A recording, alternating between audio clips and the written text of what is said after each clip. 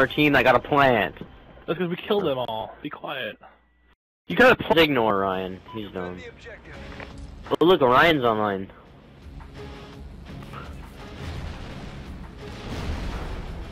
It's dashboarded.